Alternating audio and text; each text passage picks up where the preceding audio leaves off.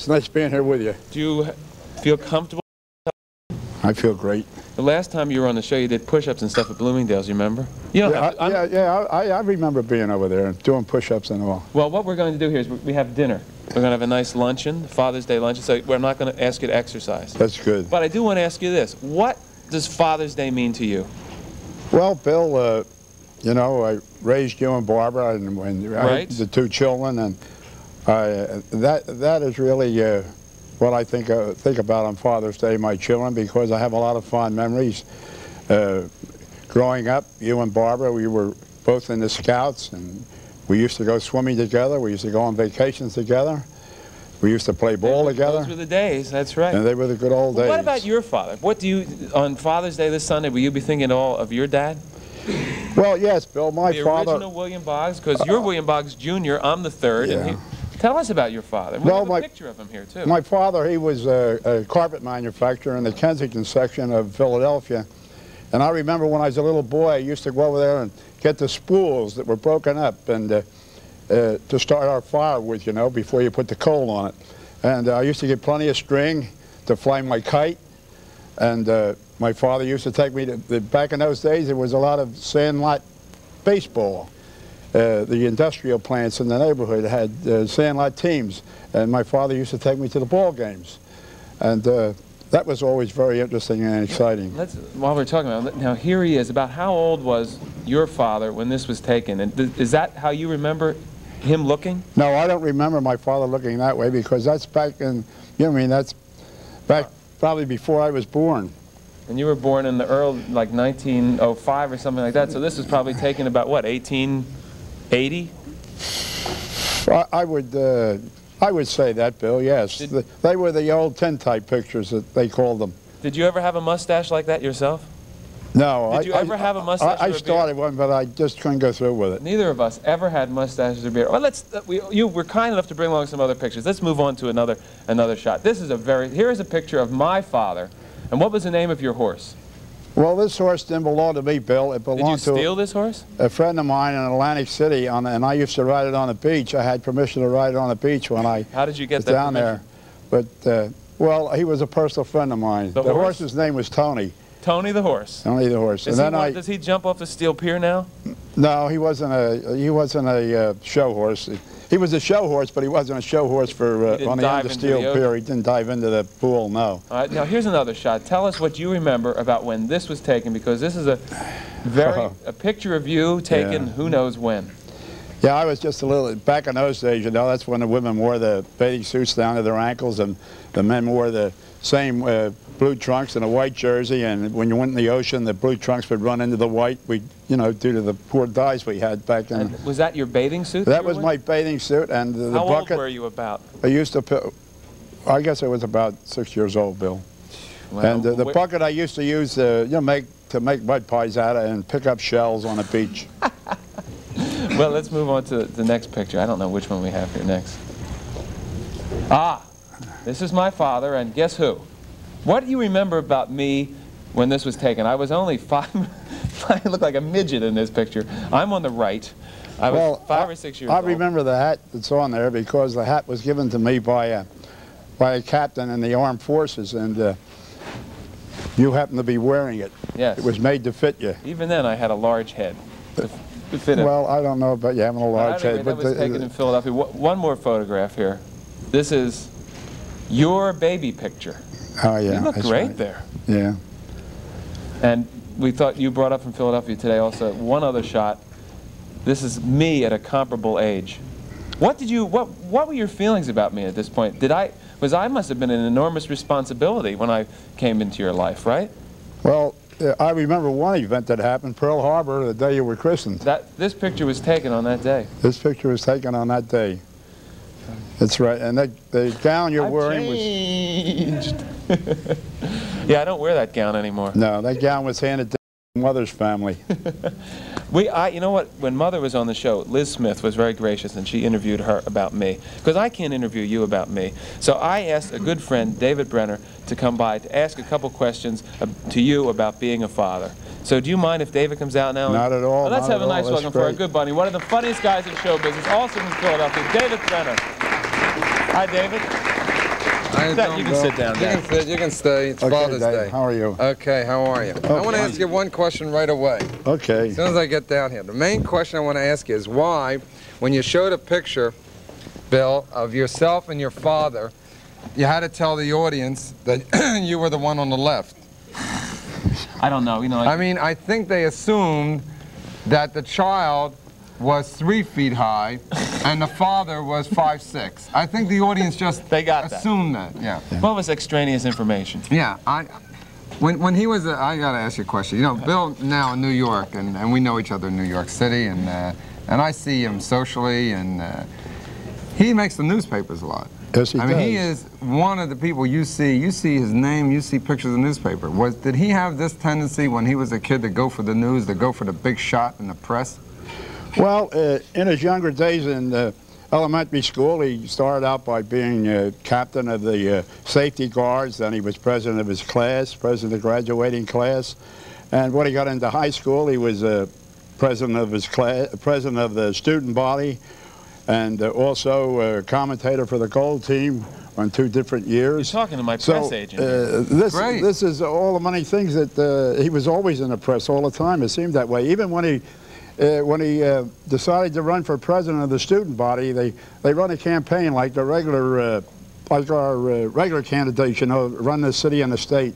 And they have uh, throwouts, and they happen to have a throwout with an ape on it, and have why not elect Bill Boggs for our president? With a picture of an ape? It worked. Picture of an ape.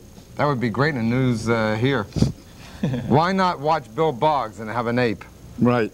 Same campaign, you could get elected. Good work. Well, when he, when, you know, now, I don't know if he's told you this. You know, I know I hide things from my father. But I, Bill Boggs is very popular with the ladies in New York. I mean, he has seen, I, I go to Studio 54, it's a discotheque. and he walks in there with an array of beautiful ladies. And some of them, of the names, Some of them know me. some of them know him. Most of them leave him before the evening's out. But some of them, was he always popular with the ladies? Yes, I would say he was always popular with the ladies, and personally, I'm glad he is because I like to meet them. It's true. He has a crush on Lucie Arnaz. Oh, yeah? It's true. Oh, you liked her. Oh yeah, Lucy, yeah? lovely person. Yeah, I saw her the other day walking in New York. Well, when Bill, when Bill, what is the story of Bill? And, and this is interesting. We have a lot in common. We're all from Philadelphia. That's correct. We have something else in common. And my brother's name, nickname is Moby. And Bill Boggs has a dog, Moby. Which I don't think my brother would appreciate. But what is the story of Moby? What's going on with this dog?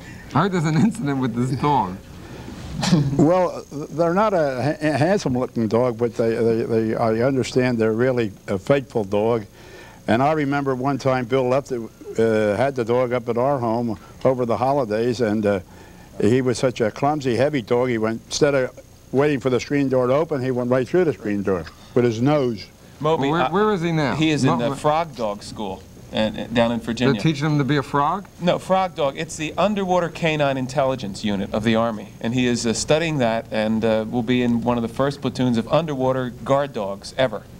He wears Now, a mask. Could I, a wait a minute. aqualung. What does a uh, dog guard in the ocean? I mean, Wrecks, What is there? wrecks, things that divers could get to, and then they bark underwater. It sounds like this. Yeah, I was gonna, yeah, right. You mean they actually?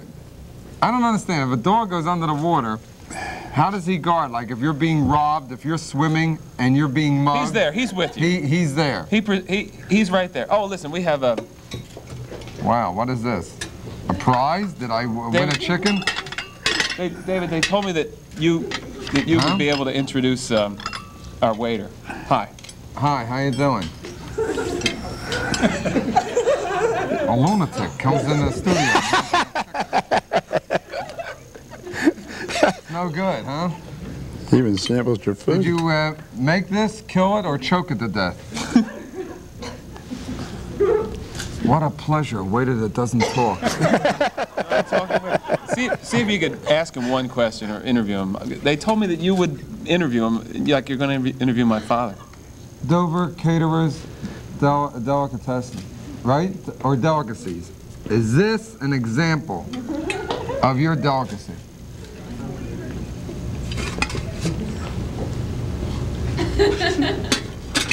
I hate to tell you which end you just smelled.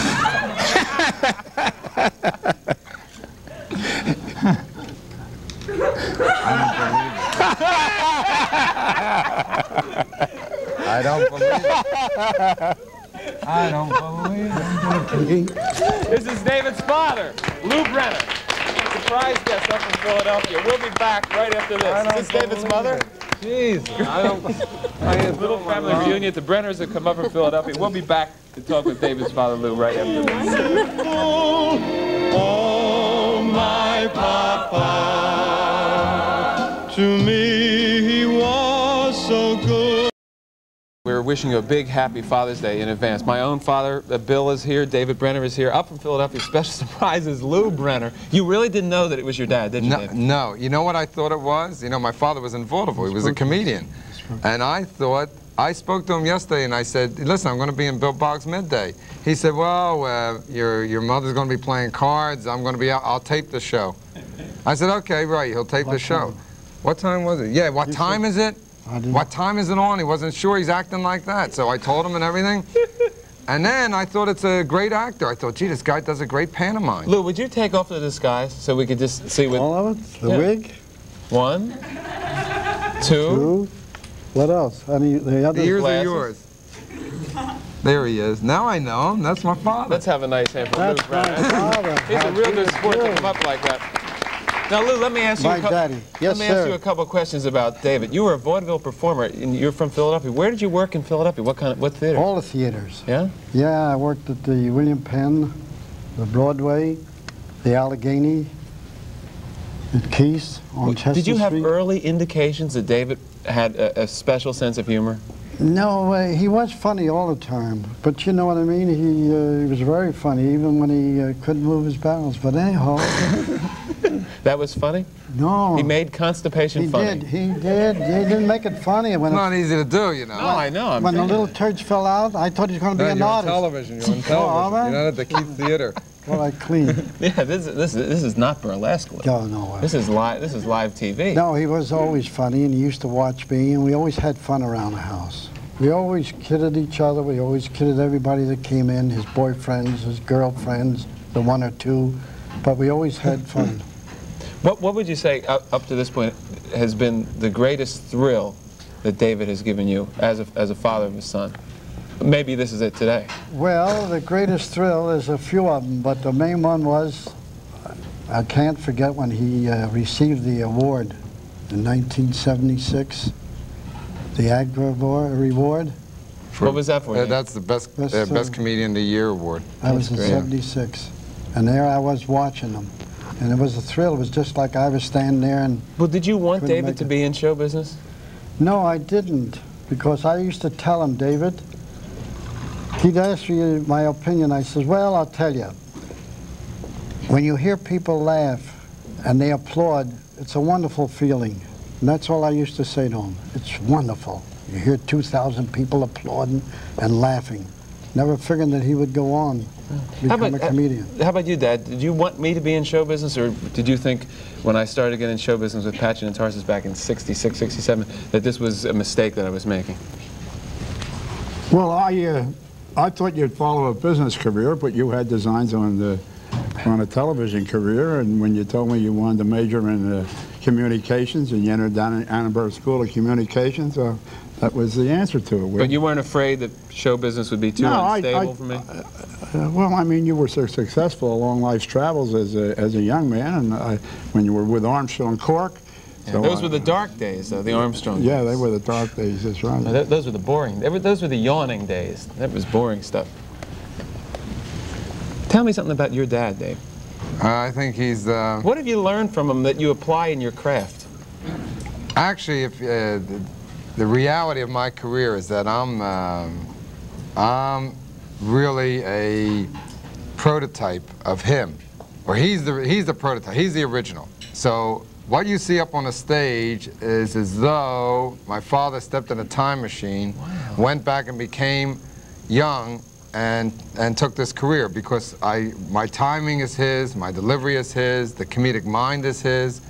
I emulated him. I uh, the jokes that I have in my act were the kind of humor that he had in the house. To this day, he still gives me lines. They're Yeah? mine, they're Yeah, he'll still Give me an example of Come a on, line. give me All right, credit, they're all right, like he gave me, all right, I'll give He's you credit. giving you great credit, I think. He, It's uh, a real like, tribute. Like he called me, uh, now the other day just called me and gave me a line which I haven't even worked yet on television as a premise. He said, did you ever notice if you watch wrestling on television, the announcer will say, the man's wearing only trunks and the announcer says, he's got something up his sleeve. It's true. But that, that is a David Brenner concept. you know? Exactly, but that is really a Lou Brenner concept, which I happen to be the one who's doing it now, professionally. But it's really his comedic mind. Lou, tell me about your father. Where was he in show business My at all? father was David's in show grandfather? business, he was a rabbi. He's a rabbi. Theater, right, like. Yeah. He No, go ahead. What? I like the, the People's Theater in Kensington. You mentioned the Allegheny. I The used to go to the Allegheny when I was a young man. So did Mrs. Boggs. That's right. You were the fellow yelled, get the hook. I remember that. It could be. It could be. It's not impossible. What other lines have you given David recently, Lou? Uh, he, he gave me, uh, he gave me one more. about the, um, the uh, sport event. Another thing, a dumb thing announcers do is, uh, he says, imagine if people really took it literally, like the players are eating up the clock. So you have this image of football players, come on, give me the four, give me the seven, let me have the dial, you know? And that's the David Brenner. Uh, well, d- Lou, did you do stand-up material as a comedian? Is that what you Yeah, were doing? stand up, yeah. Wow. I didn't sit down because I, you know, So you really, li- you were li really living vicariously at this point through David. Is that fair to say That's right. when you see him on Very television and so yeah. forth? I just love it. And how, Oh. uh, how about your mother, David, who is here in the back with my Mother, mom? oh. Is Mother- she? Uh, well, I, she's you're- the buff uh, of a lot of my jokes, you know what I mean? Like Uh, what, for example? Well, like her Bug cook. cooking, everything tasted the same. I mean, she's she is the greatest to me, the greatest. Everyone in the world should have a mom like my mom and a father like my father. And I think that the people may be a little zany, but there wouldn't be the, the horror that the world has today. You know, I have great parents. And my mother, though, is great a mother as she was. She can't cook. She hates cooking. So every ta tastes the same. Like, Like that meal that I had, the chicken would have tasted like the carrots, would taste like the lettuce. the only thing you could say if you ate in my house is you'd say, Mrs. Brenner, the food feels so good. it feels, I mean, That's good it, texture. just the texture. That's But about it. it all tastes As long as you eat your green things. All right, let's take a break. We have a very special man coming up, Jack Lemmon, who's on Broadway in tribute. And Bob Picardo plays his son in that show. And we're going to talk about it because it's a play that deals with the father-son relationships. We'll be right back right after this. Two weeks ago last night, there was a big opening night on Broadway. Tribute, starring Jack Lemmon with Bob Picardo opened. And Tribute is a play, it's at the Brooks Atkinson Theater. I, I thoroughly enjoyed it. It deals with Jack Lemmon's character who is a, a, a sort of a performer, he's a PR man, he's a, he's a tremendously charming and funny man who is dying. And his son, who is played by Bob Picardo, is, makes efforts to get closer to his father in the final days of his life. Let's have a nice welcome for the two stars of tribute, Jack Lemmon and Bob Picardo. Nice to see you, Jack. Bob? Nice to see you. Let me say there's a, a lot of really beautiful acting going on on the, on the stage at the Brooks Oh, Atkinson. thank you, Bill.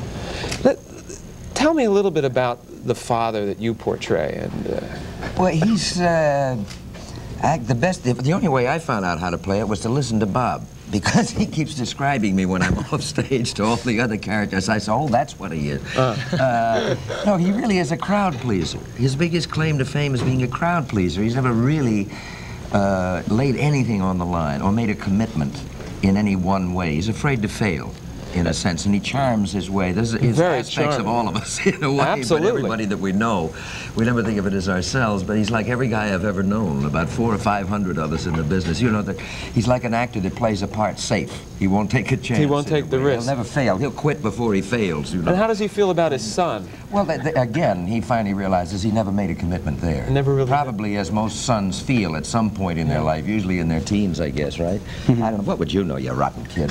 anyway, but he, he never did really lay it on the line. You know, as, as Bob said, he woke up one morning and he wasn't there. And Bob, as a son in this play, do you? You're almost you're in the shadow of the father. The father's the, the big, charming, suave guy. The mm-hmm. son is sort of an uptight, square, or something like that. Right? Bland. A bland. character. Studious. So, but what what is the urgency behind what your character is trying to do? Because I'm just wondering how the you do a Sunday matinee. You No, do a Su- you don't- Saturday, Wednesday and Saturdays. Wednesday and Saturdays. I'm just, I was thinking on Father's Day or near Father's Day, the, the poignancy of the play will just be doubly and triply increased, I think. What are you trying to do as a son in tribute? Well, what I'm trying to do is to get to know him. to figure him out. I mean, he, uh, he got up and left one morning when I was eight years old, and uh, our contact has been strained since then. I've only seen him, you know, on visitations.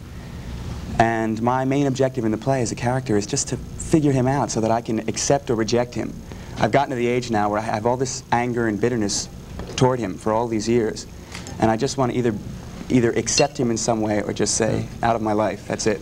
What, one thing I thought of that, you know, that seems to be there is, is there's a sense of competition un, between the two of you Oh, yeah. that underlies. Let's talk about. I think that's an interesting thing, like with David and, and his father. Let me shift down to them just for a second. Yeah. Do you two have competition between you? Uh, no. No. I don't think we know. I don't think we competed. We more or less, com we were lucky. We complimented each other. We competed each other with jokes, but not... Yeah, uh, just with jokes. But in a- but, in if, a but if he way. won, it was great. I mean, I laughed. I said, that's better. And that was the end.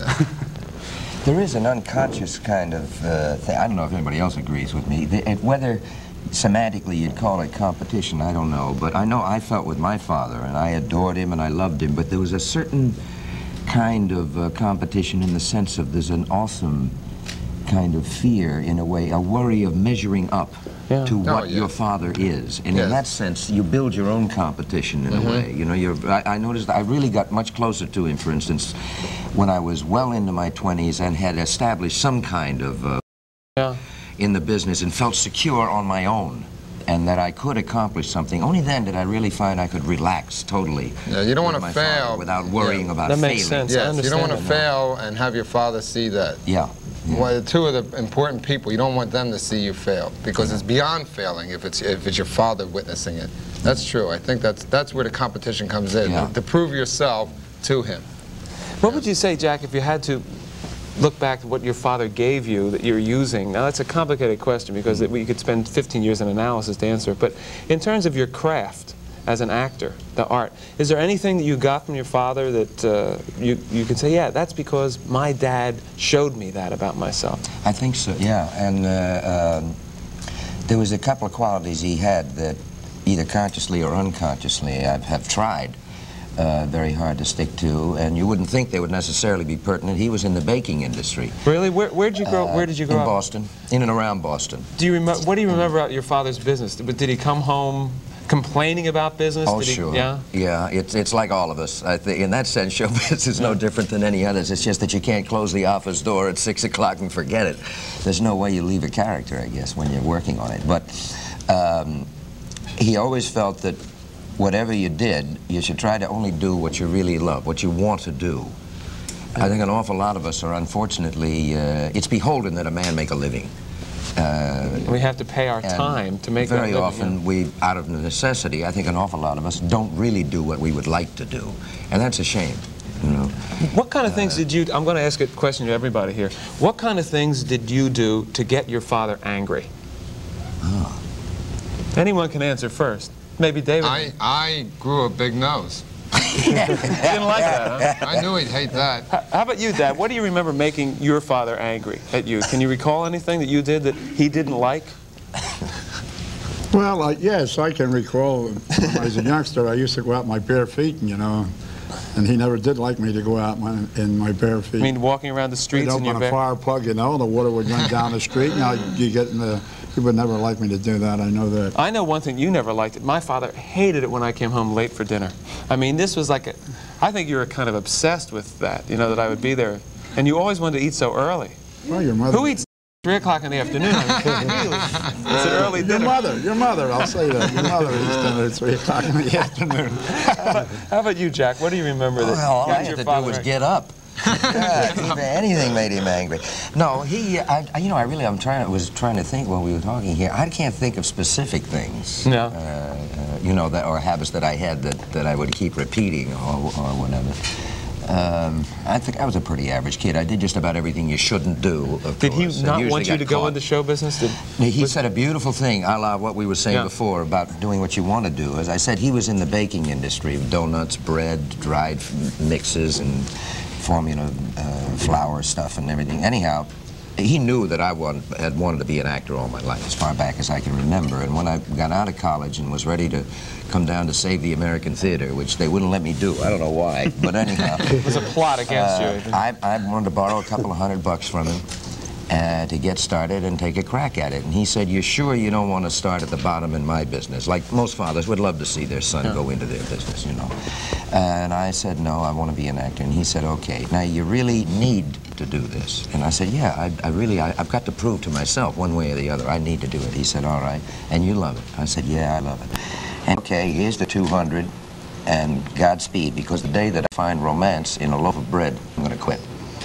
And I never forgot it. It, it was a, a lovely line. Absolutely Great beautiful. line. Another thing he said was that anything, he says, if it's tough, and it is, anything that you ever get will never be worthwhile if it's easy. You know There is something? no such thing. I have quoted my own father many times on a similar thing. Dad, I'm sure you remember saying this to me. I, I can't tell you how many times I heard my father say, you only get out of something what you put into it, Yeah. which is a simple homily, but you know, I think about that a lot because whenever we do a great show, I will realize that what, what went into that was a little bit more than an average show, or whatever. Let's take a break. We have Frank Perdue and his son Jim, and Victor Hill de la Madrid joining us right after this. Sloppy, lazy, Okay, this is our Father's Day special. We give you a big kiss for Father's Day in advance. Joining us right now is Frank Perdue, the Chicken Man. Some say Ed Koch look-alike, and his son Jim Perdue, as well as our on-location reporter Hill de la Madrid. Welcome, gentlemen. It's nice to see you. Good to be here. Jim, you, this is a this is a chance to tell the world how how much into chicken is your father really? Do you have chicken sculptures around the house, things like that? Very much so. Really? Yeah. Chicken tiles in the bathroom on the walls, and uh, the plates have chickens on them, the glasses, everything. Does he eat a lot of chicken? Quite a bit. Do you, At restaurants and, and everywhere. Oh, yeah, I had uh, chicken hash for breakfast. Chicken hash? Frank, do you want Jim to go into into the family business, or is he already in the business? No, he's not in the business. Uh, he's um, um, in the marine biology, working on his PhD. Underwater chickens. Underwater chickens, yeah. Possibly. Jim, how do you feel about the, the fact that your, your father is a big national celebrity as a result of all these commercials? You got this, the Perdue name. You could walk right into a father-son business, but you're walking under the water instead. Well, I think he's always told me to, you know, follow what uh, I felt I wanted to do, and you know, stressing that you do your best in the job that you enjoy doing most. What are the things you most admire about your father? I want to ask everybody that, whether their father is here or not. What's, what are the things you most admire about Frank Perdue? Well, he's become very successful, and and yet he's been able to, uh, you know, maintain a, a certain humbleness uh, with his employees and in the company, and um, I I basically just have a lot of respect for him. Frank, how about you with your father? We spoke about him once, I believe. Yeah. That, uh, tell, tell me a little bit about, what was his name? Arthur W. Perdue. Arthur W. Perdue. What did you most admire about your dad? Oh, I, I, the, the simplicity of the individual. He was a completely uh, uncomplicated man, uh, very religious person. He taught me all of the uh, good things that I am and that I, you know, as far as business, as far as integrity, as far as uh, working hard. Did he start the family business, the Yes, chicken business? He did. And you were, did he convince you to go into it, or were you naturally drawn into it because of your own interest No, in I, I really didn't want to be in the business when I was a, a teenager. Couldn't wait to get off that chicken farm. And, um, but, you know, as I got older, why, he seemed to be smarter. and I, I finally decided after a couple years in school that uh, I didn't want to be a school teacher because I was in teacher's college, and I decided to go back on the farm and work with him. Hilda La Madrid, your father isn't here, but what do you most admire about your father? Well, he's uh, he's a brilliant writer. That I admire very much. And uh, my father and I were never really very close.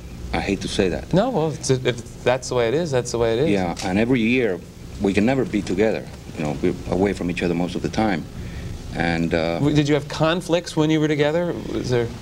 we have never been able to have a father-son relationship, uh, a good relationship. Uh, there's always been a, a distance Yeah. between the two of us.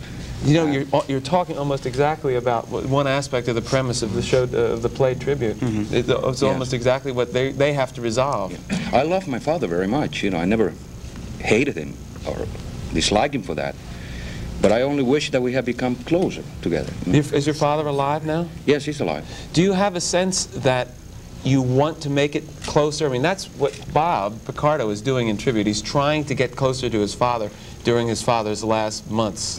Well, let me let me give you an example. When uh, David Brenner here uh, realized that his father was here, and uh, they embraced, I was watching from the wings, and I uh, I became very emotional there because suddenly it wasn't David's father, but it, but it was my father walking in, and uh, right now he's half crippled, uh, and I saw him. I picture him in my mind walking right through the floor here, and I thought for a moment that it was me doing embracing my father, and I became very emotional. You know, th- to shift down to Bob Picardo here for a second, the, the, the situation that your character in Tribute, what this young man is trying to do, I think there a lot of us can identify with because he's trying to close the barrier, right? Right, to get to know his father. It's an opportunity that unfortunately I never had in my own life because I lost my father when I was very young, when I was um, nine. So that what this play offers me the opportunity to do is to experience that part of my life, which um, unfortunately I, you know, to get to know the man.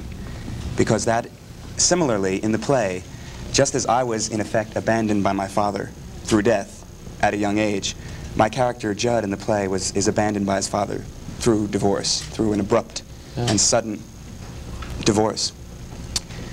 But my character f- has the opportunity to, to try to figure the man out, to try to get to know him. I honestly believe that there is a very strong message for sons in the play Tribute, that a son could go to see that play and come away with a, a renewed sense of wanting to get to know his, a his father. mail, a lot of mail from Yeah, I people in the Yeah, audience. I believe You're it. right. Jack, tell me, uh, I want to ask everyone this question that we started on the end. What did you most admire about your father? First, what was his name?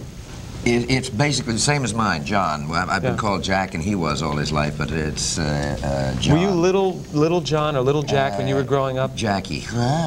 You know what I was? You know the one I'd you like to be little never- Willie? I will never, as long as I live, forgive him, though. And he's, he unfortunately passed away, and as I, it was a great loss to me because, as I said, fortunately we got very, very close. Yeah.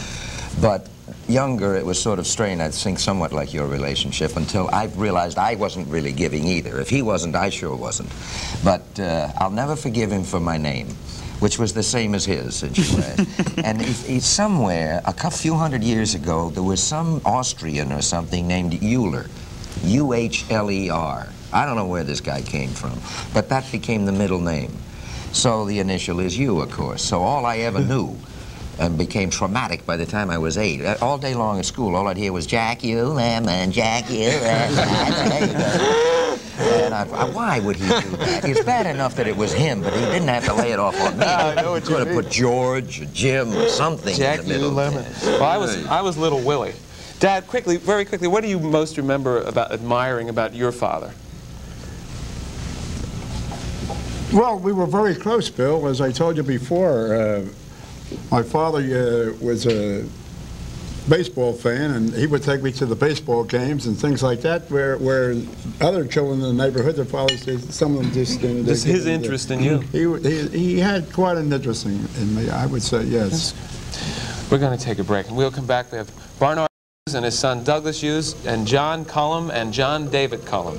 Stay with us.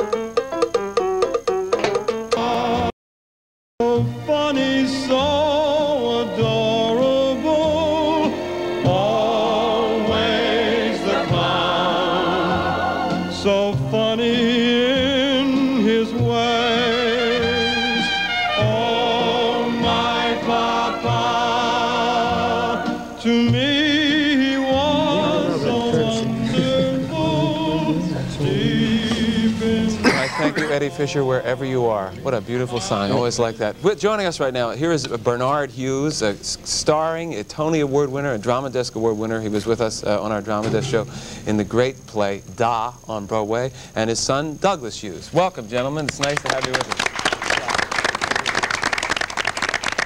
Also with us is uh, one of the stars, also highly honored of On the 20th Century, John Cullum, and his son, John David Cullum. Welcome.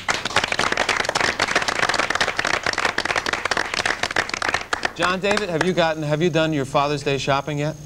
No, I haven't done any shopping for him yet. No? What, what would, you, would you like to reveal what you think you'd like to get him? Well, uh, I, I usually leave deciding up to my mother, so uh, I don't know. I Yeah? don't know what I'll get him. Wh- Tell us a little bit about your father. Is he, uh, does he have a, a very good memory? Is he forgetful? No, yeah, he's forgetful. Very forgetful. what, what, uh, what kind of things does he forget? Lines. Uh,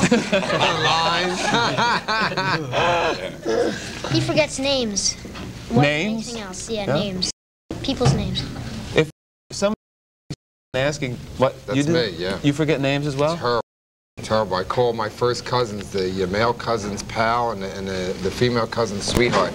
You, you can't well, remember? hi pal, hi sweetheart. First cousins, I remember. That's I called him difficult. mom till I was 21. Tell it. Do you want to follow in your father's footsteps, John David? No.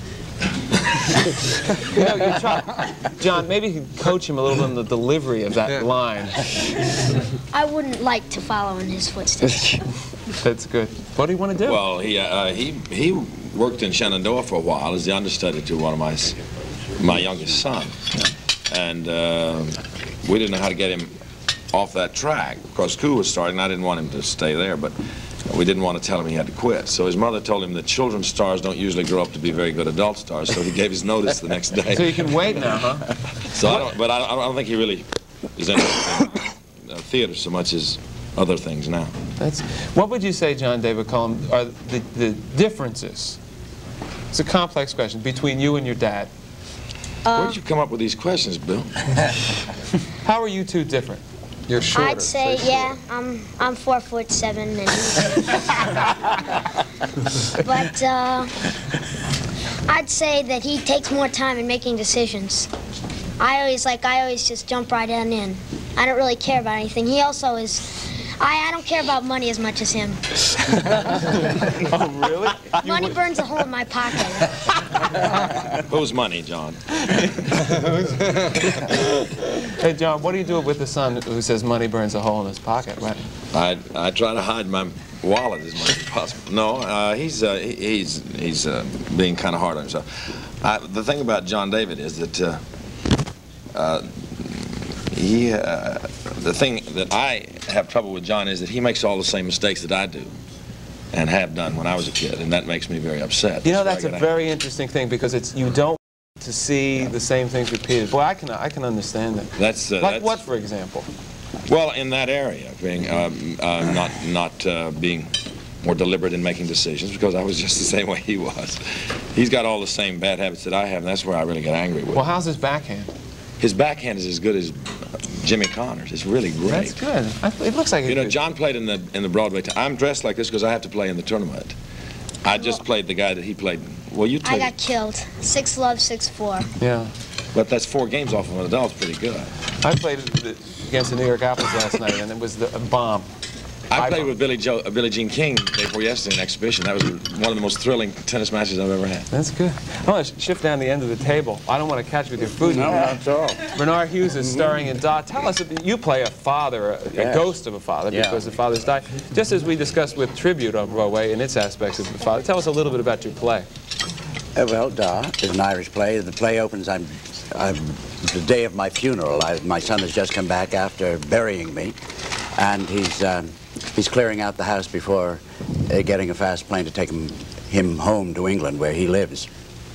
And suddenly I appear, and. Uh, uh, Jack, Lem- uh, Len- Jack Lemmon, Jack Leonard, who wrote the play, yes, Jack Leonard, who wrote the play, uh, uh, describes the play as being the conversations with his father that he never had. He was an adopted son, uh, hated everything about uh, his background, or so he thought. Couldn't wait to get away from uh, from his roots. Uh, left, uh, married a, a, a Belgian girl instead of an Irish girl. Went to England and uh, and settled down there, and finally realized that you can't get away from your roots. You have to come back and face them, and carry them on your back for the rest of your life. And that's exactly what he did. Douglas, I'm wondering, uh, seeing your father in this role of Da on Broadway, has it affected your at all, seeing him portray a father? No, I, I don't think so. It's, uh, um, it's, uh, it was pretty good to start with, and, uh, uh, but I, uh, and I, I don't actually uh, recognize much of my father in the man he's playing on stage. It's, uh, it's a rather different sort of Irish uh, palaver that uh, uh, really you don't, uh, I mean, you palaver, I suppose, but What, what does it mean to palaver? to to uh, natter on, to talk too much and just sort of idly. Blather is another word, uh, Blather, yeah, right, yeah. to blather. But I don't, uh, it's um, just an enormous pride, really, I think is the, uh, uh, you know, one strong feeling that this has given me. How about what we were talking about before, the simila similarities and differences between the two of you? Um, what would you say the essential similarity is? I don't think there's great Not similarity. I was uh, when I waiting over there, you know, trying to prime myself and writing down a list of things I admired about my father, that uh, to come on and say. I, I just thought that uh, uh, he's uh, uh, has a certain gracious acceptance of what comes along, and I worry and fret and am rather unhappy with. Well, how uh, are you going to influence your son not to worry so much? Uh, well, uh, these are all the things that I've learned to cope with, and this gracious acceptance has come with age, I must say. Uh, maybe, uh, uh, maybe there was. I, uh, I don't know. There are lots of things about uh, Doug I uh, uh, don't approve of. He, wear, he wears his good shoes out in the rain and things like that. And hard, I remember you were asking somebody about things that annoyed uh, your fathers. Yeah. And I, uh, there's only one thing that really of my father in me in the play, and that's a reading uh, that I give, and I can still hear it. And uh, the thing that most How does it go? me- well, uh, um, the most thing that most annoyed my father was uh, getting me up in the morning, and I can still hear him after about the fourth try, and I was still in bed. I would hear him saying, "For the love of the good." Da, da, da, da, da. Will you come down when you're called? You know, and I can still hear that. I uh, edited a little there because he had took uh, had a rather colourful speech. John, David, uh, does your father have trouble getting you up in the morning? Well, I come, I get up much earlier than him, so yeah. I have to get him up sometime. Really? Is it tough to wake? Uh, Yes, because he always says he'll get up and then he doesn't. It's not easy being a father, is it? it sounds like it's not easy being a son. We'll be back right after this. We have a father of quadruplets coming up.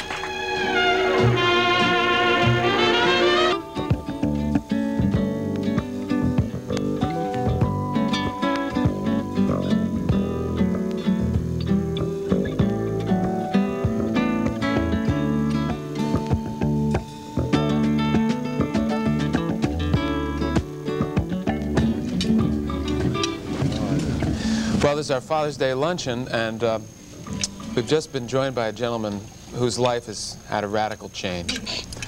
His wife just had four babies. Uh, we're joined right now by George Presson, who is the father of quadruplets, recently noted in the paper. George, welcome. You should get the Father of the Year award, I would think. Well, I'm very happy, and uh, I just picked my wife up this morning from the hospital after four months of being there, and uh, the babies will all be coming home next week. So, Your wife is in the hospital because of complications with the pregnancy, right? well, just to play it safe and to keep her uh, off her feet, the doctors recommended that she go to the hospital. Jack, I want, what, what would you like to know about a father of four babies and what is in the future for him? If he wants, I'll lend him my children for him. I would, yeah, I, I wouldn't mind. it's a whale of a future. Uh, that's a heck of a All at once. responsibility. Yeah. yeah. How do you feel about the responsibility? Well, I- just the economic responsibility of four children. Is, Well, I welcome it. Um, we knew since February that we are going to have a multiple birth. I have two other children at home, and um, I'm pretty prepared to tell you the truth, mentally, economically, physically. What kind of work do you do? Um, I lease computers. I work for a leasing company, OPM Leasing, here in Manhattan, 71 Broadway, and uh, we lease the big IBM 370s computers. Has it really sunk in yet that you've, you're going to be raising four? Now, is it two boys and two girls? Yes, two boys and two girls. It's sunk in, believe me. Uh, I know it. What are you doing about diapers, uh, George? Uh, we're gonna You should run a diaper leasing service instead of That's true. Uh, I'm trying to get someone to buy Pampers and give it to me. Oh, company. You ever hear of Groucho Marx? Groucho Marx once had somebody on the show that had uh, something like 13 children. He said, why did you have, why do you have 13 children? The man said, I, lo I love children. And Groucho Marx says, I love to smoke a cigar, but I take it out of my mouth once in a while.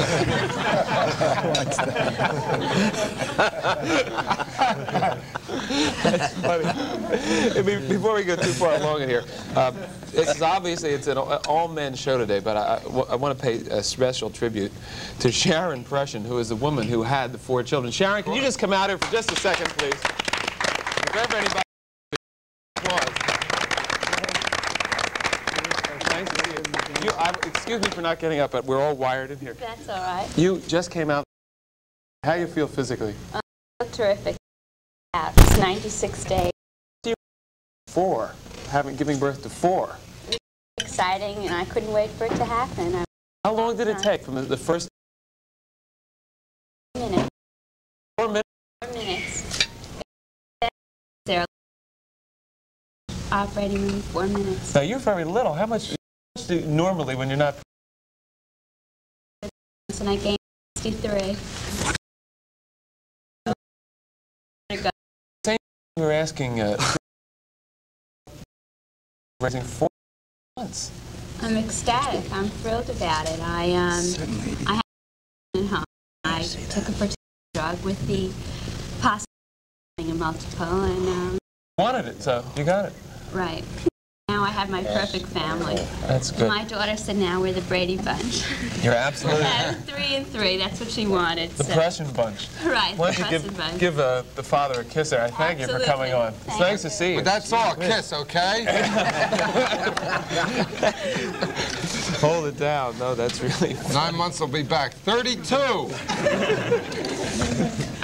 I want to I want to shift down to John David Cullum uh, again. Tell, tell me a little bit, and this would be a general thing for all of us, some of the most memorable moments you've had with your father. Some? Yeah, one. Just one. Uh, well, a couple of years ago, my father was uh, in Long Island, Oak Beach.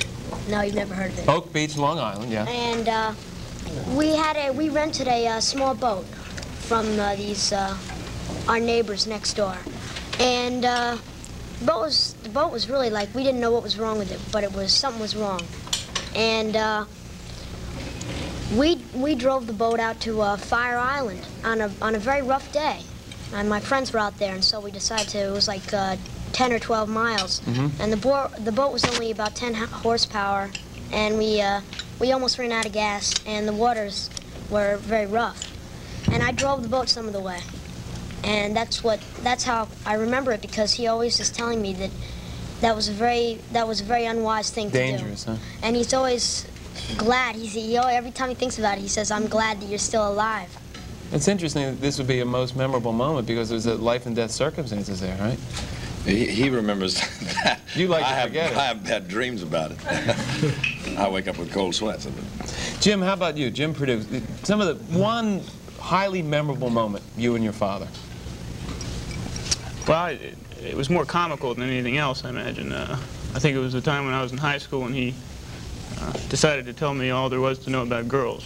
You know? And uh, Go out and watch the chickens, son.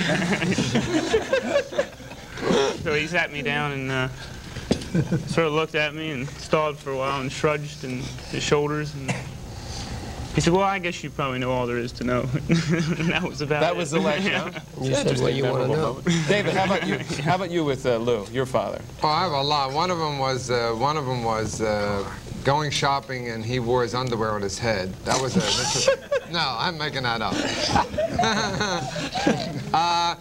Uh, I'll tell you, this is going to go down as one of them because I have been playing tricks, uh, practical jokes on my family since I'm a child, and, and this is the first time they all pulled it off and got me. So What's, uh, today, today yeah. is going to be a memorable moment. Yeah, because I have gotten them all my life. Jack, how about you? If you think of a memorable Oh, moment, you and There is. Uh, you got an hour? Um, yeah, as a matter of fact. No, I we'll knock you, out the movie today. Uh, Lois, I will try to make this as, as uh, brief uh, as possible, but it, it's true story. The, uh, the most memorable single day, because I never believed that my father would would literally acknowledge me from that day on. And I don't remember exactly how old I was. I think I was about 10 or 11. And uh, it was the day before the 4th of July. And uh, Brooks, the boy next door, and I had gotten a hold of some firecrackers, which we weren't supposed to have, but we had gotten them. And the day started when I, early in the morning, my father started playing catch with me with a football. We had under our little house, the, the driveway went under the house, and there was a big Oh, drop of about six to eight feet near the top of the driveway, or as you got closer to the house, just straight down. And uh, he kept telling me, no, son, you got to throw that ball out there. You got to throw it. You got to lead me with the ball. And uh, in the back of my mind, I kept saying, well, if I lead you too far and you're looking over your shoulder, it's goodbye. You're going to drop about eight feet right into the thing. And he kept saying, throw it. I said, okay, and I did it. And he, I could just see that, you know, where you're frozen and everything becomes slow motion as he was going forward, saying, that's the way. and down with a tremendous thud. And after I heard the thud, I finally said, look out for the and then I realized, forget it, it's over. Now, That must have been scary. he came up seething, scraped his head over here somewhere, and coming up to me. He always, whenever he was mad at me, he called me a jackass. And he came out the of the drive saying, "Oh, jackass, you, you jackass, get in the house." Now he decides to get into his car, you see, to go to the doctor to fix all the abrasions. And I forgot that I had put one of those motor bombs, those big firecrackers on the motor. And he stepped on the gas and turned it. Wow! It went off. It blew the whole hood off the, the motor. Oh, God. Oh, Oh, it's awful. I tell you, now, just to finish it off, I told you it was an hour. That was You a know, great don't ever give an actor a cue. God, man. Anyhow, we finally got his neighbor to take him, and Brooks and I figured now that he's away, that's the, I was confined to the house, was the best time to shoot the firecrackers off. So on our little upstairs porch with an awning, we decided to throw the firecrackers, and I proceeded to throw one as my father was arriving back at the house on top of the awning. It set the awning on fire, and the damn house was on fire as he pulled up coming back from the doctor. That's fabulous. And we lost the bedroom and oh god. Oh, that's my most memorable day with A my terrible day, but a great story. Now we know the To real show you how close is we were, he still talked to me. It was that day he said, here's $200, go be an actor. We'll be right back right after this. Don't go away.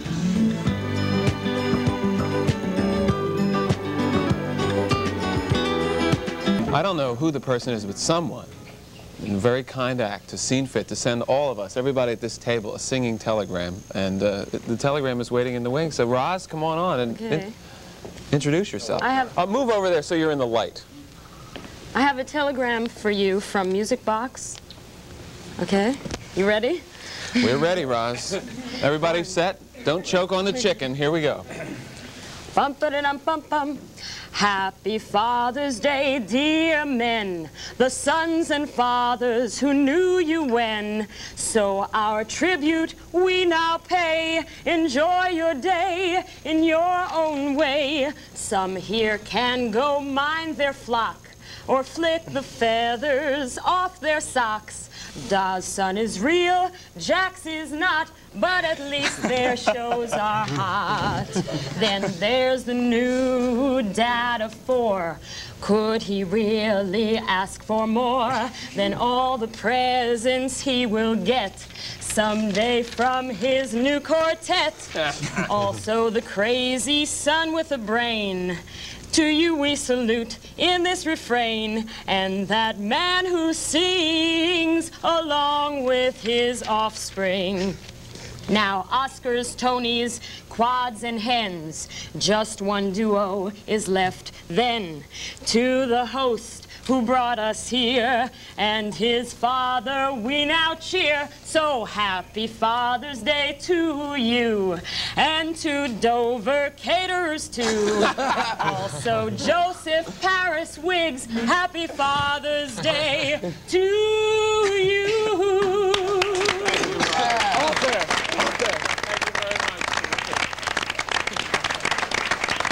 Happy Father's Day to you, Roz. Wow, this has been a lot. I really, good feelings at the table today. Uh, we've given you a, some fond memories of your own father and some of the things we talked about today, the pleasant experiences that you might have shared with your dad. I want to take a moment here to formally let you know a little bit more about what everybody's doing. I'll start at the end with John Cullum.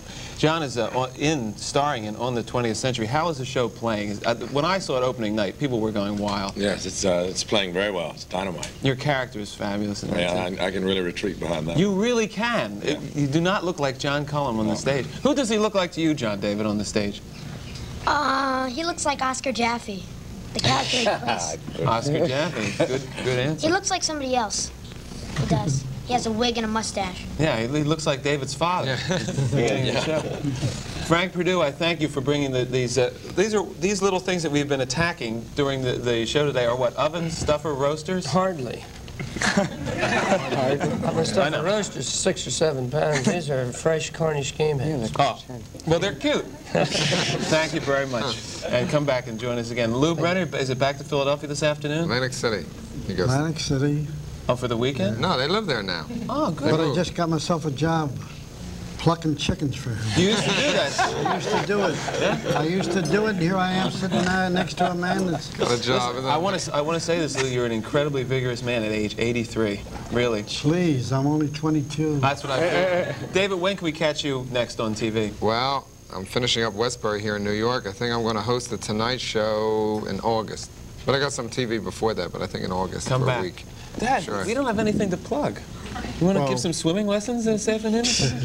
No, no. We can, I just thank you for coming. We're just happy to be up here, Bill. Your mother and I will be at your apartment over the weekend. So You that's- will? Yes. Oh, oh you got a lot of calls a lot to of, a lot of the show. calls. Gotta change things around, but sure, you're welcome, Dad. Happy Father's Day. Thank you, Bill. My apartment over the weekend. Right. Okay. Jack, Bill, thank you You do great work in tribute. Brooks Thank you. Atkinson. At, I have trouble saying the word Atkinson. Atkinson. Theater. How long are you going to stay on Broadway? Uh, I'll stay at least five or six months. I think I might take a rest then and then come back. But uh, There's one other thing I was curious about from the standpoint of your craft. How long did it take your body physically to adjust to being back on stage once you started into tribute, you know? Not, uh, uh, not as long as I thought. I had, but I, it, it had been, oh, I guess, two years since I had done a play. Um, but it, I think it's mainly the voice. At first, you're not used. If you're doing primarily films, which I have been over the over recent years, then uh, uh, for you got to start early. I think, using the voice. Well, have a great run. Thank you. Bob, you're terrific in the... Thanks, Bill. We're going to be looking for nominations, I think, next year around Tony time and Drama Desk Awards. Dad, I don't know what else to say. You got four kids waiting at home. Yep, can't wait to get there. Okay, thank you for coming. And uh, Douglas, I never asked you essentially whether or not you wanted to follow in your father's footsteps as, as an actor. Um, I did for a while, and I'm doing the profession a favor and deciding not to be an actor. I'm, I want to direct, and uh, that's what I'm up to now. Would you like to direct your father? Um, I'm. Uh, No. Just got the answer. Doug has, uh, has produced and directed a review that's playing down at Spoleto Festival. Uh, it's been uh, extended for a month down there, so he's on his way back to South Carolina on the weekend. Good. Thank you for coming. Thanks a lot. And Thanks where for the is lunch. Da playing? Da's at the Morosco on West 45th Street. And you're dug in for a long run there, right? Hopefully we'll be there for a long time. Yeah, looking forward to it too. It's a joy to play. And uh, Formally, I really want to say this, and I, I mean it with all my heart, and I would like all of us to say in a count of one, two, three, just Happy Father's Day, right? Thank you. One, two, three. Happy Father's Day. Okay, we're going to take a break now and end the show with Stiller and Meara, and then we have our credits. Don't go away.